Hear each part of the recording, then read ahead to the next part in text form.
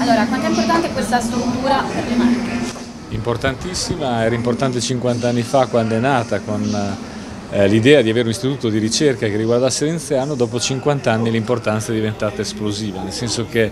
oggi la gestione dell'invecchiamento fatto con qualità, con servizi di livello, è un po' il cuore, il centro dell'intera attività sanitaria. È un fatto molto importante che si vive di più, ma abbiamo bisogno di vivere bene e un avere nelle Marche un istituto che si occupa in termini di ricerca proprio di questo significa avere un istituto che si occupa del cuore dei problemi della sanità, una visione che va oltre la dimensione delle Marche, che arriva in tutto il paese, in tutto il mondo, perché la domanda che il mondo si fa come gestire al meglio questi servizi, che significa assistenza, ricerca, tecnologia economia, perché attorno a un mondo che cambia c'è anche un'economia che si può sviluppare. Avere nelle Marche questo istituto significa avere una grande opportunità. Anche da noi, come in gran parte d'Europa, in gran parte d'Italia, si, si, vive a lungo, eh, sono tantissimi ad esempio gli ultracentenari, dobbiamo fare in modo di avere di fianco a questo invecchiamento tutti gli strumenti per gestire al meglio le risposte che le persone che vogliono vivere a lungo vogliono vivere bene.